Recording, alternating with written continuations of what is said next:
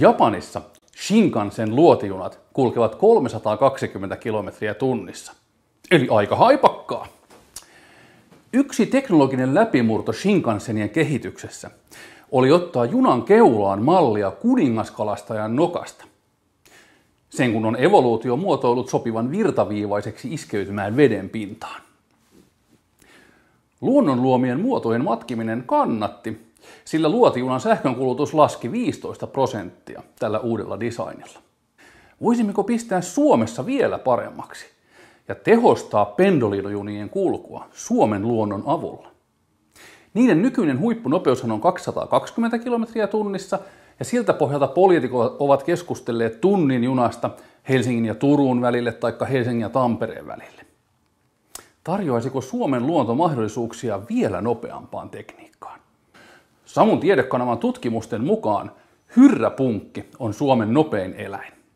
Siis suhteessa. Se pystyy juoksemaan jopa 26 kertaa oman pituutensa sekunnissa. Vähän päättömästi hän se sääntäilee, mutta nopeasti. Tästä aiheesta on oma videonsa, jonka voit katsoa ruudulla näkyvästä linkistä. Pendolino juna on 159 metriä pitkä. Jos se kulkisi 26 omaa pituuttaan sekunnissa, vauhti olisi 4134 metriä sekunnissa, eli melkein 15 000 kilometriä tunnissa. Samun tiedekanavan graafisen osaston laatimassa havainnekuvassa näet, millainen olisi luonnon muotoon perustuva uusi hyrräpunkki pendoliino. Tässä kisassa jää japanilaiselle insinöörille kyllä hopealusikka kouraan. Matka Helsingistä Rovaniemelle on 820 kilometriä.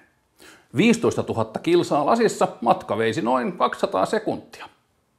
Kiihdytyksen ja jarrutuksen huomioon ottaen saisimme hyrräpunkki pendolinolla viiden minuutin junan Helsingistä Rovaniemelle.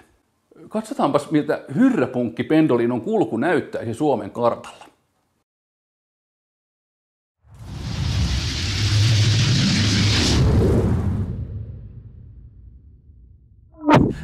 taitaa vaatia vielä jatkokehitystä tämä raideliikenneuudistus. Mutta matematiikan voimalla tämäkin vielä ratkeaa.